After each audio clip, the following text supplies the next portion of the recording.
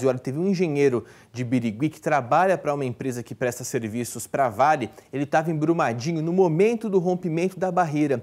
Ele gravou um vídeo com o celular poucos minutos depois. Dá só uma olhada. Tá todo mundo aqui em cima ilhado. Mais uma barragem que pode acabar estourando. Só está preocupado que estourou a barragem 1, tem a barragem 6. Então a gente está preocupado aqui. Estamos esperando algum helicóptero, alguém, alguma informação mais clara para poder a gente sair daqui. O helicóptero lá em cima. Pô, preferência é para baixo. Pessoal, a gente tá tranquilo, com preferência é lá embaixo. É, não, é. Imagine você o desespero de ter a informação do rompimento, você está lá com seus colegas trabalhando e não sabe depois, é, não tem informações, muitas delas desencontradas, para onde fugir, como se proteger, enfim. É uma angústia muito grande. O repórter Guilherme Leal está em Birigui agora com um engenheiro e ao vivo conversa com a gente. Guilherme. Oi, Marcelo, bom dia a você, bom dia a todos que nos acompanham. Olha, eu falo aqui ao vivo do Jardim Atenas, em Birigui, onde nós vamos conversar com uma pessoa que sobreviveu a essa tragédia ali em Brumadinho, Minas Gerais. Mais uma tragédia né, que chocou, com certeza, toda a população aqui do nosso país, né, Marcelo? Vou falar agora com o Raul Amaral, ele que é engenheiro, estava prestando trabalho é, para uma empresa que trabalhava né, para a Vale. Raul, onde você estava e como que você percebeu a dimensão dessa tragédia? É, boa tarde. Assim, na verdade, eu fui perceber a dimensão mesmo depois de tudo ocorrido, vendo nos jornais.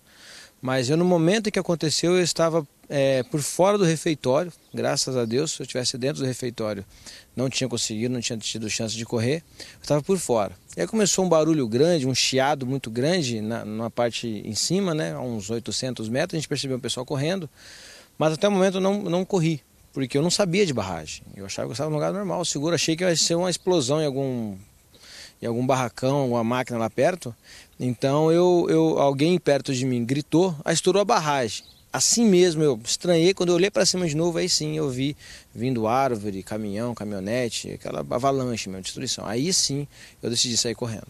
E como que era o espaço lá? Descreve um pouquinho pra gente. Era um lugar, é, tinha é, saídas de emergência, todo mundo correu para a mesma porta, como é que foi? É assim, na verdade é um lugar aberto, né? Era aberto, você tinha ruas, né? porque a vale é muito grande lá, né? Então, todo mundo correu para o mesmo lado, vamos assim dizer, que foi para a portaria, porque é o lado inverso de onde estava vindo a avalanche, né? Agora, placas de sinalização, lugar seguro, essas coisas não tinha. O que eu percebi é que já tinham me falado que houve um treinamento há uns dois meses atrás disso e todos foram para o mesmo lugar que esse lugar a gente ficou alto. Uhum.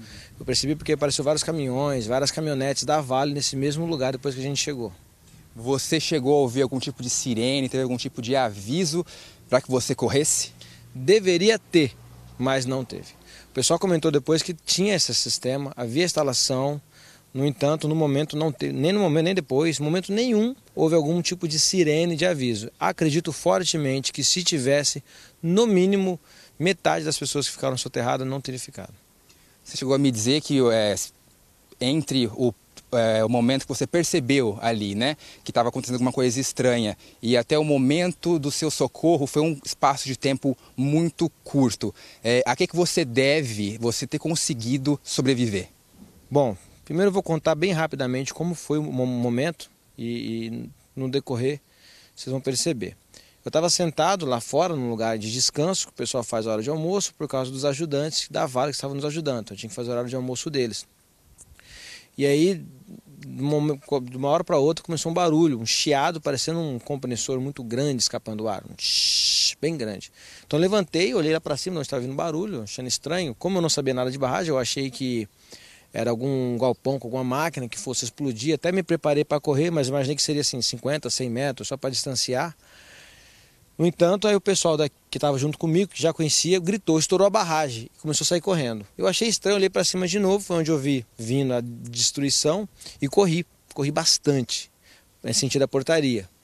Primeiro, porque é o inverso de onde está vindo, segundo, é um lugar mais alto, terceiro, é a saída. Corri para lá, estava todo mundo correndo para esse lugar.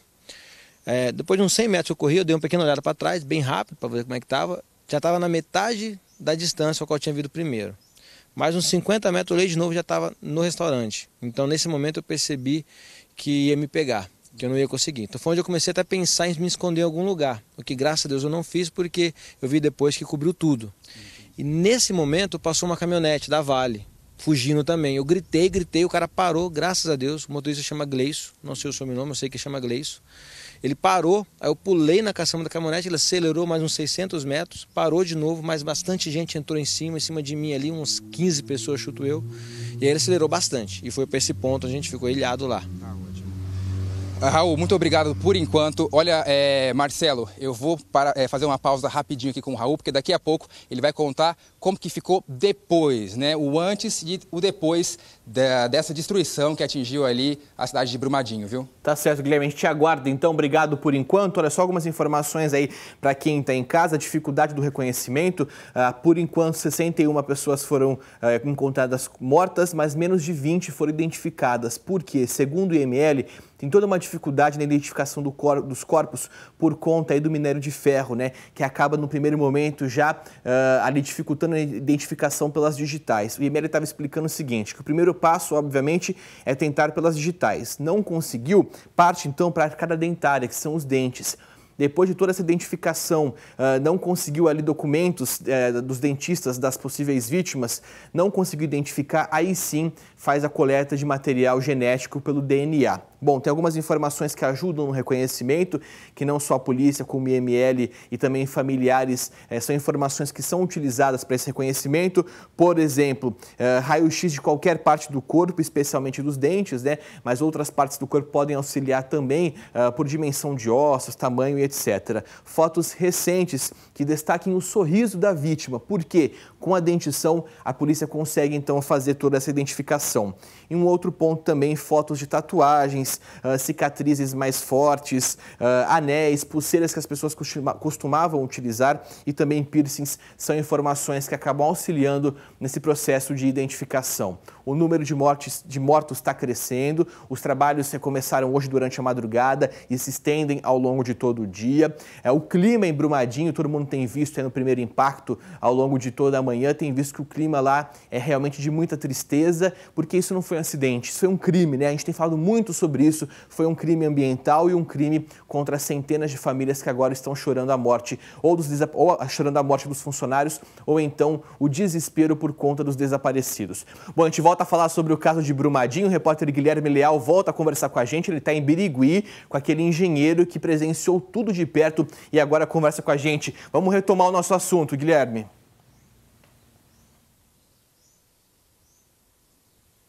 Oi, Marcelo, eu volto a falar aqui do Jardim Atenas, em Birigui, onde vive o Raul Amaral, o engenheiro que estava lá em Brumadinho no momento do rompimento da barreira, da barragem da Vale do Rio Doce. Ô, Raul, conta pra gente, no momento que você percebeu que você tinha sobrevivido, o que, que você pensou e qual que era a paisagem ali é, daquele local? Bom, primeiramente alívio, né? Consegui, porque infelizmente depois de aquele ocorrido que juntou todo mundo, como eu não trabalhava lá, então não tinha conhecido. E o conhecido que eu tinha, graças a Deus, também conseguiu sair ileso. Mas você vê muita gente triste, muita gente chorando, falando, oh, tal pessoa estava em tal lugar, tal pessoa que não conseguiu, não estou conseguindo contato. Então, alívio, mais apreensão, tristeza, né? E, e, aí uma coisa que eu achei interessante, como eu te falei, eu não sabia da, da, barragem, eu achei que era água. Então eu achei que fosse voltar lá no lugar, nosso carro ia estar tá de ponta cabeça, as coisas iam estar tá feia, cheio de água, sujo. Mas não, era lama. Chegamos no local, estava liso. Parecia que nunca tinha construção, não tinha nada. Só via as pontas dos, dos, das máquinas maiores, como vagões, tratores. Porque a lama ela cobriu mesmo, né? Até comentei com você agora há pouco, se não fosse uma lama tóxica, parecia que a, que a natureza havia se restabelecido, né? Infelizmente. Raul, é, a gente houve uma comoção muito grande no Brasil todo, né? Como é que você percebeu ali a, a movimentação de voluntários, depois disso Defesa Civil, o movimento ali para tentar é, ajudar tanto os parentes, né, quanto os sobreviventes? Ah, não, graças a Deus, de costume, isso é uma cultura do brasileiro de ajudar, isso é, foi claro, né? Vários bombeiros, bombeiros se preocupando de, de fazer a, o resgate, né? É, eu percebi até vai chegando carros fora de estrada, que às vezes nem eram de profissionais nisso, mas eles, eles se disponibilizam fazer isso. O próprio pessoal da Vale é, Bom, esse é o que eu vi, tá? Várias pessoas reclamando, ah, Vale, só Vale não, não ajuda, não dava assistência. No mesmo dia, eu falo, tinha que lembrar que, o, que, os funcionários da Vale também sofreram o um acidente, então você não tinha funcionário. No entanto, os que estavam de folga, todos foram chamados e todos vieram, deram assistência para nós. Foi um trator da, da Vale, inclusive, que chegou até onde a gente estava ilhado, é, deram água, disponibilizaram um ônibus para levar o pessoal de volta para casa. Então, assim, você percebe que houve o mesmo empenho na ajuda. Tá certo. Raul, muito obrigado pela sua entrevista ao vivo aqui para o SBT Interior.